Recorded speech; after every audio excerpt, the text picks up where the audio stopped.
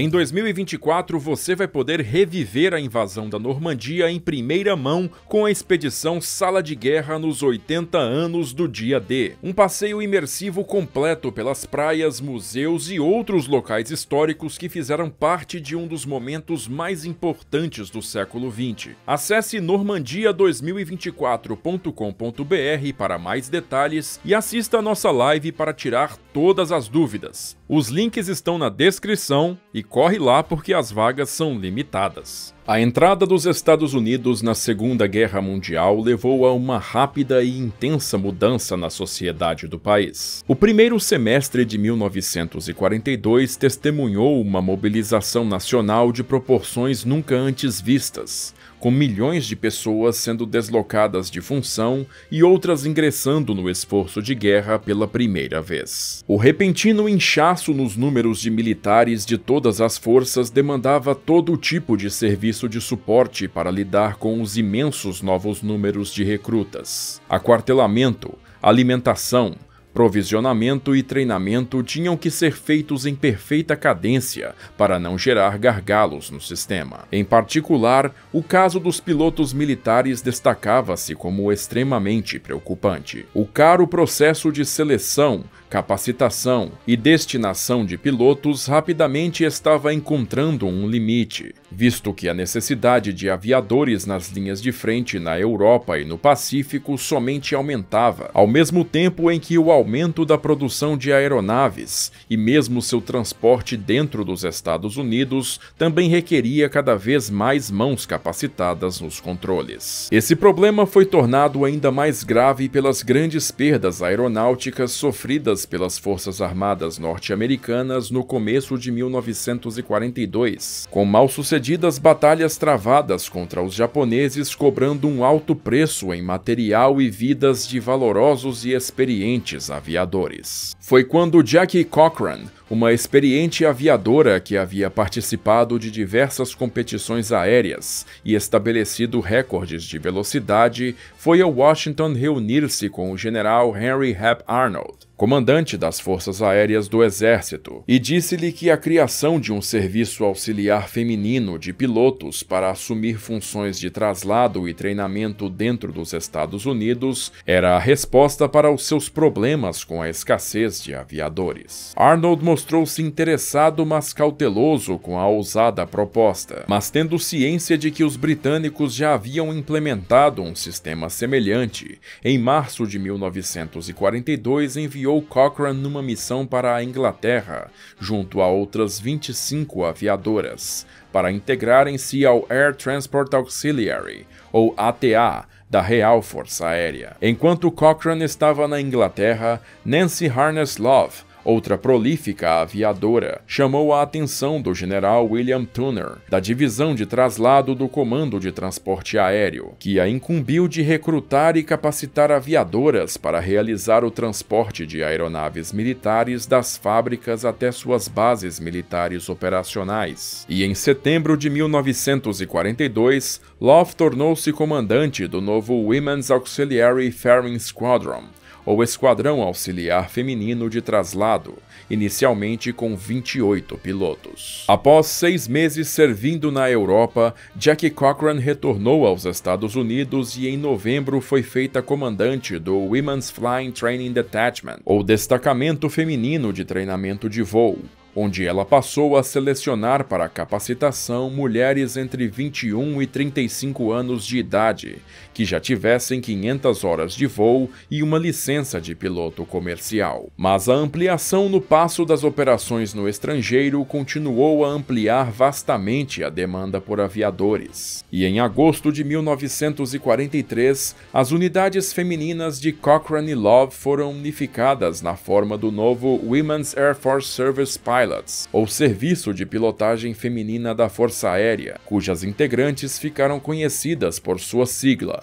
WASPs. Ao longo dos 18 meses seguintes, mais de mil aviadoras seriam qualificadas pelo programa, realizando muito mais do que voos de traslado Mulheres pilotavam aeronaves rebocadoras de alvo para a prática de artilharia, estavam no comando em missões de carga e treinamento de navegadores e bombardeadores, bem como se tornaram as primeiras pilotos de teste de novas aeronaves militares nos Estados Unidos. E isso tudo voando desde monomotores de treinamento como o North American T-6 Texan, passando por caças de alto desempenho como o Republic P-47 Thunderbolt e o P-51 Mustang, até bombardeiros bimotores e quadrimotores como o Boeing B-17 Flying Fortress. Mas mesmo já voando os maiores aviões do arsenal norte-americano, as Wasps teriam um papel a desempenhar junto a um verdadeiro gigante, que naquela altura ainda passava por um trabalhoso amadurecimento. Ainda em dezembro de 1939, o Comando Aéreo do Exército havia emitido um requisito por um superbombardeiro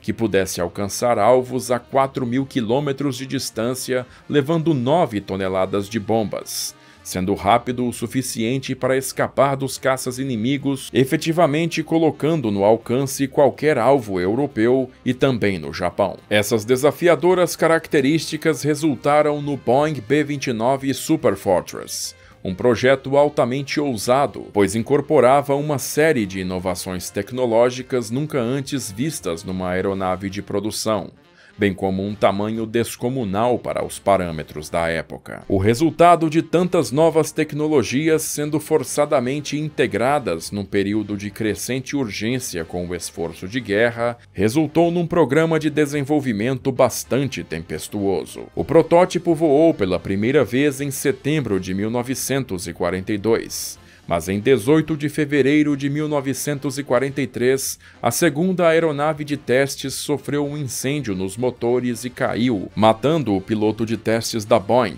Edmund Allen, bem como toda a tripulação e diversas pessoas no solo em Seattle. O projeto inicial do Super Fortress tinha numerosas falhas, e as primeiras aeronaves saíam da fábrica diretamente para oficinas de manutenção, onde passavam por numerosas modificações até atingirem a estabilidade operacional desejada. O exército precisava de um novo piloto experiente para conduzir o problemático programa, e o encontrou nas quentes areias do deserto africano. O capitão Paul Tibbets já havia comandado dezenas de missões de bombardeio no comando de quadrimotores na Europa e dando apoio ao avanço norte-americano no norte da África. E pouco depois da morte de Allen foi chamado aos Estados Unidos para assumir a chefia dos testes do novo bombardeiro. Logo, Tibbets tornou-se o piloto com mais horas de voo no Super Fortress testando a nova máquina aos limites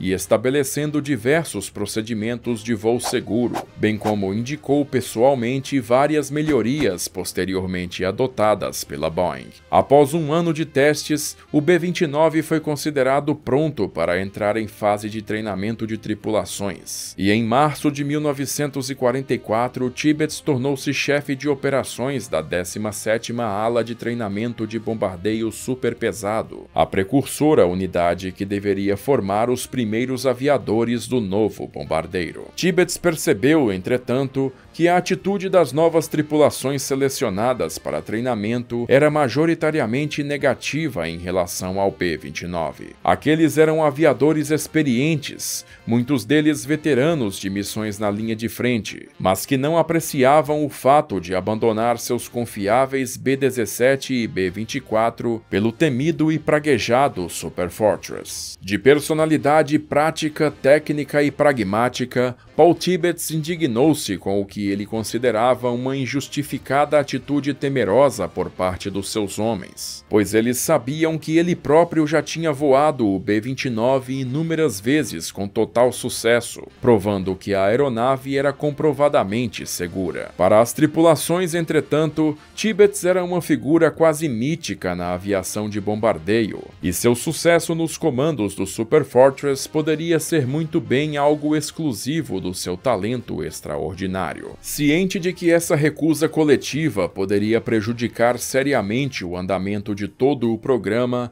Tibbets decidiu tomar as rédeas da situação e elaborou um insólito e ousado plano. Colocaria o B-29 nas mãos de mulheres aviadoras, dando assim uma lição em seus receosos pilotos. Em maio de 1944, ele solicitou a Jackie Cochran a cessão de duas de suas aviadoras para o seu programa experimental e acabou selecionando Dora Doherty Strother, de 22 anos de idade, e Dorothea Didi Murman, de 27 anos, ambas WASPs graduadas das turmas pioneiras de 1943. Strother e Murman já haviam voado em variados tipos de missão e pilotado dezenas de modelos de aeronaves diferentes mas nenhuma das duas tinha qualquer experiência prévia em quadrimotores. Tibbets fez essa escolha de forma proposital. Ele não só queria demonstrar que o B-29 podia ser facilmente pilotado por uma mulher, mas também que qualquer um poderia pilotar o monstro de aço mesmo sem prévio treinamento específico em grandes aviões. As duas se apresentaram ao Coronel Tibbets na base aérea de Birmingham, no Alabama, onde tomaram contato pela primeira vez com o B-29. A intimidadora aeronave foi, contudo, gradualmente perdendo sua aura de indomável à medida em que Tibbets pacientemente a apresentava às aviadoras. Elas estavam cientes do seu papel naquela história e queriam ter sucesso no seu intento. Cada uma recebeu um bombardeiro para iniciar o treinamento, logo dominando as minúcias de sua operação e considerando seus comandos mais dóceis do que o de alguns bombardeiros bimotores. Em seu primeiro voo nos comandos do quadrimotor, Strother sofreu um incêndio em um dos seus motores mas estando ao seu lado no assento do copiloto, Tibbets viu a jovem aviadora simplesmente realizar o procedimento de desligamento de forma profissional, sem qualquer alteração de comportamento,